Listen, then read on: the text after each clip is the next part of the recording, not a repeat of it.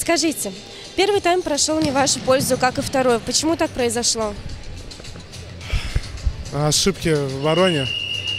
А, Люди, которые должны были играть в нападение, играли в защиту, то есть недопонимание. Плюс э, у меня неуверенные действия на выходе. Где-то не доиграли, где-то не доработали. Вот и получилось, что 3-1 после первого тайма.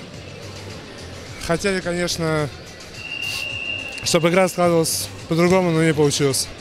Какая установка была в перерыве матча? В перерыве матча была установка а, атаковать, э, встречать соперника высоко, больше двигаться.